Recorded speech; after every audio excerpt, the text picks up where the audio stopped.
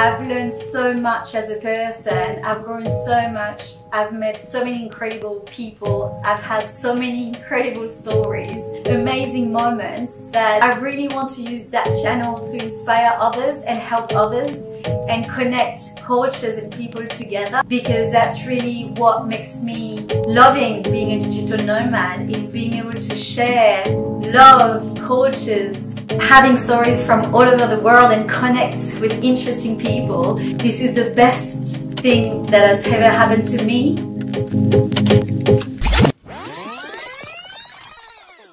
Je suis née en France, I lived in Australia y tengo el alma latina.